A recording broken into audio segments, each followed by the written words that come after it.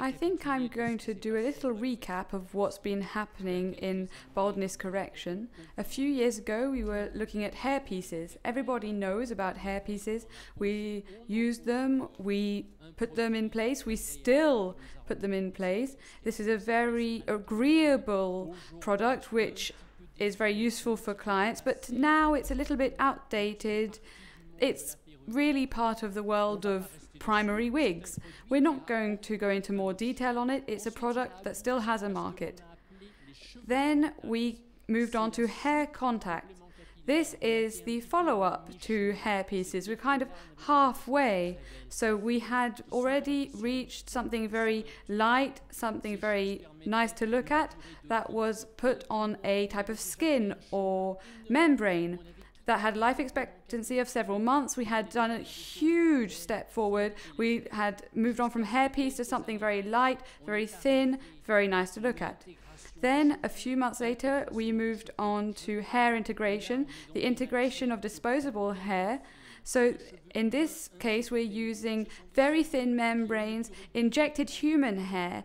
This hair has a life expectancy, and so this is more like a service, which is to say that in the institutes, we will apply the hair and then we will cut it. It is a type of service, a package, and it will last for four, four weeks.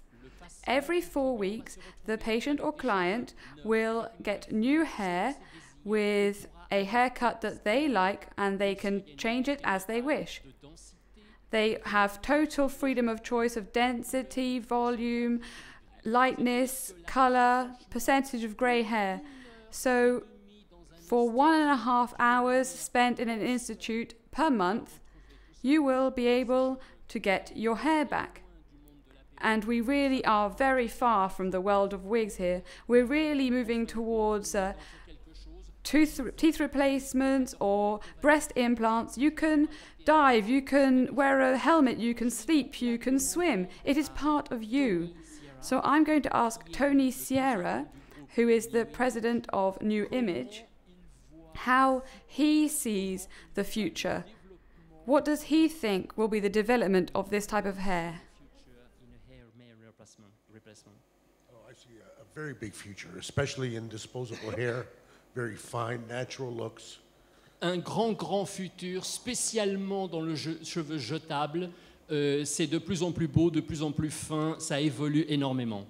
Uh, the man today wants to look natural. L'homme d'aujourd'hui veut avoir une, une, image naturelle. And I think that the, the products today that we're coming up with, not only New Image, but the whole industry, is revolutionizing hair replacement.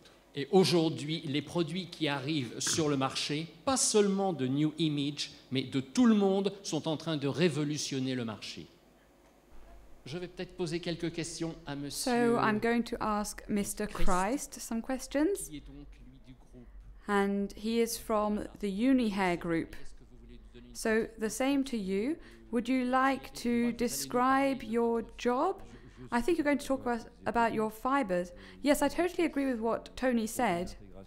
This integration product, which we also call second skin, it's really a very thin membrane which we inject fibers into. We have been making these choices for about 15 years. It can also be done with hair, and these products give an excellent result.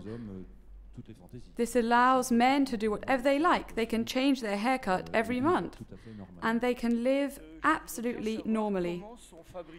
I'd like to know how this um, hair integration, disposable hair, is made. So I know Tony has created a film on the creation of this. Can we watch the film? To show everyone how much work goes into making a disposable hairpiece. So this is a very short film which was done in your factories to show the audience what an incredible amount of work has to be done to create these uh, hair integration pieces.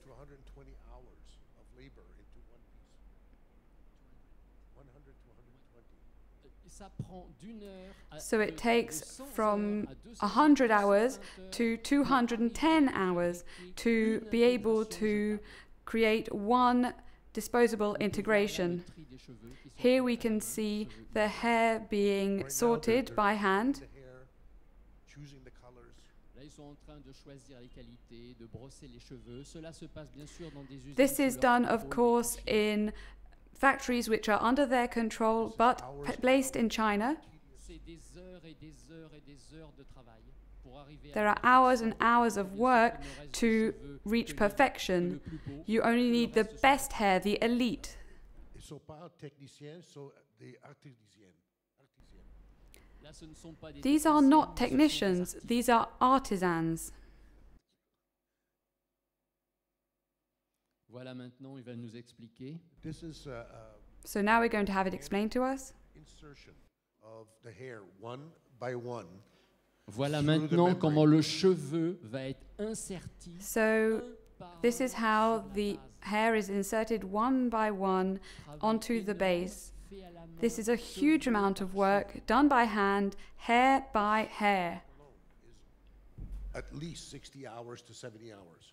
Ce travail tout seul, simplement cette So just this task, just the implantation, 70 takes 60 to 70 hours of work just for the implantation of one entire hair integration Pourtant, vous voyez piece. qu'elles vont très très vite. But you can see they're prend going very, very fast, but it takes nearly 70 hours to finish one disposable hair integration. Not to break the hair, not to break the membrane. Alors, une des grosses difficultés, c'est qu'il So one of the most difficult things is that you have to be very professional so that you don't break plus the hair pour ne pas and even more difficult to avoid la base qui est déjà breaking, tearing, or making the base more fragile because it is already so thin. On pense qu'on va les porter seulement quatre semaines et qu'il faut When you think that this is only worn for four weeks and it takes 70 hours just to implant the hair, people are working here with, most of them are made this way. All of them. Oui, ce que vous voyez là sur scène en train d'être So what you are seeing on stage being cut right now, de cette façon. all of these hairpieces were made in this way. When a woman runs her hands through the hair of a man who is wearing disposable hair integration, can she feel it? No. If it's been well stuck on and if the borders between the hair and the hair integration are well done, then you don't feel it. I know this gentleman works in capillary management. What does it feel like? You don't feel anything.